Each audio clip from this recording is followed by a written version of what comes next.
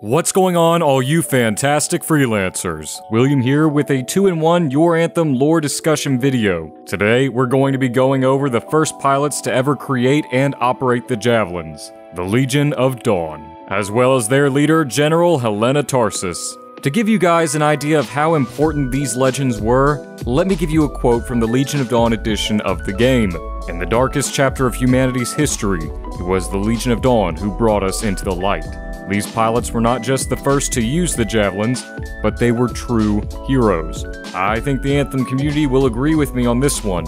Their era deserves the title the Age of Heroes. Obviously, the designers of the most advanced technology humanity has to offer would be the best at operating them. Uh, next to you all, I mean. Thanks to their ingenuity and protection, humanity was allowed to start thriving and start the construction of fortified settlements safe from the dangers and threats of the outside world. But how did the Legion of Dawn create their signature black and gold javelin suits? I'd imagine their methods would be similar to how freelancers today would craft them. The Legion would study the Shaper artifacts in order to create the first javelin suits. With the Shaper relics being the most powerful objects in the history of the Anthem universe so far, it would stand to reason these suits would be the next best things. Obviously, the members of the Legion of Dawn would have to be pretty brilliant, as crafting these suits and studying the Shaper technology couldn't have been a mere feat by any stretch of the imagination. However, for all their expertise, brilliance, and might, something happened to the Legion.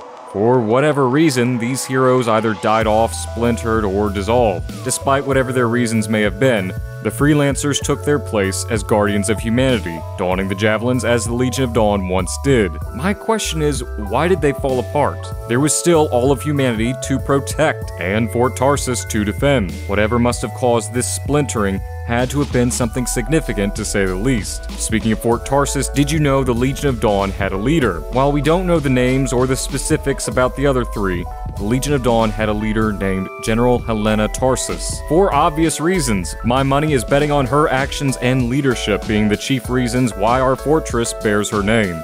I believe Fort Tarsis being her namesake gives us a potential clue as to her fate and why the Legion of Dawn may have splintered off. Why do you name something as significant as a fortress after someone? Of course, we established that the Legion of Dawn were heroes, and what better hero to name something after than their leader? Maybe she didn't die or sacrifice herself. It could be as simple as that but that doesn't give us a reason as to why the Legion of Dawn broke up the band. What if they broke up because their leader died? Without the direction of a leader, they'd more than likely fall apart.